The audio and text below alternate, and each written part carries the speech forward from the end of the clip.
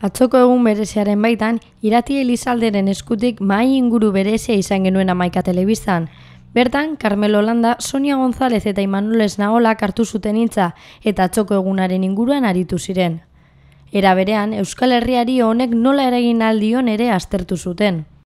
Zure galderak e, etorkizunari begiratzen zion, eta Euskal Herrian zer gertazitekeen, eta abia puntu hartu dugu, ba, lehendakari zera ezta, e, Euskadiko Autonomia Erkideko lehendakari jaunak egindako adierazpenak, nire ustez ere ez dira izan Kataluniako herriak merezi zuen neurriko e, babes adierazteko mailakoak, baina bai esango nuke edozen kasutan, eta aurrera begira jarrita, ba, aurrera begirako bide horretan Katalunian ikasi dugun bezala, desberdinen arteko bide bat izango dela.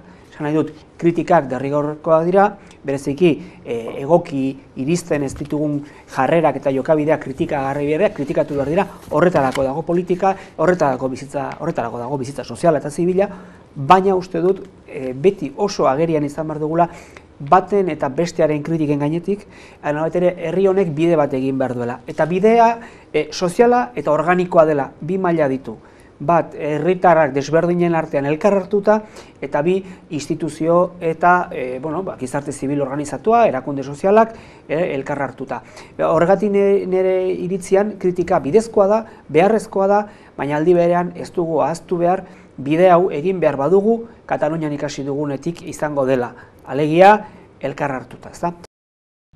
Bestalde, Carmelo Landakini urkullu lendakarearen agerpena eta portaera gaitzetsi zuen berotu egiten az honekin. Penatu egiten hauena da, orkullu berak egiten ditun deklasea, eta orkullu berak azken aldian penatu egiten hau. Benetan, eta eta ez da broma bat, eh? ez da esateagatik.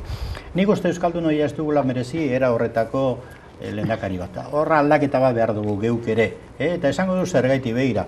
Gaur eguerdian, egon naiz e, telebista diferentetan, da komunikazio diferentetan, ze jarrera hartzen zuten aztertzen, oso importantea ikusten duzuen ez.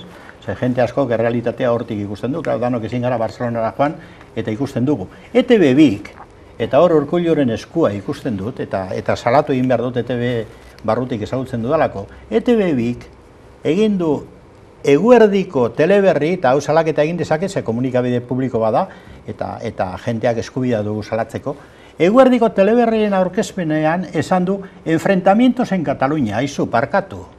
Aizu parkatu ez da hori. Osea, Euskal Herriko komunikabide publiko batek ezin du titular bezala aurkeztu gaur Katalunian gertatu dela enfrentamientos en Katalunia.